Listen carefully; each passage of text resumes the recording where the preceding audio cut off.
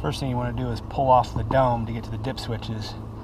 Uh, they didn't really give you anything in the instructions, but what you want is a 5 16 uh, socket, and that fits right on there.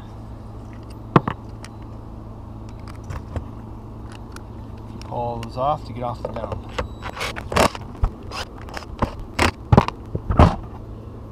Off comes the dome.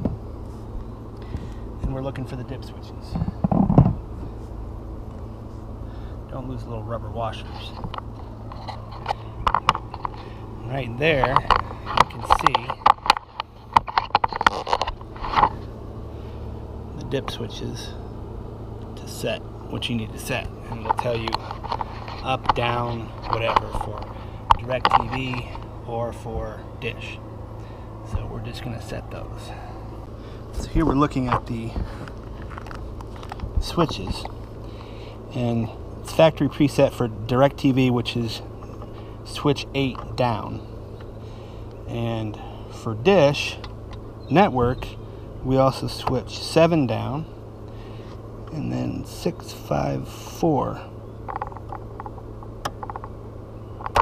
is also down. So 4, 7, and 8 are down for Dish Network, and this has to be changed obviously depending on what dish you have. Bell TV, again, you can look on the Winegard installation manual, it'll tell you which way. DirecTV is just 8 down, Dish Network is 4, 7, and 8.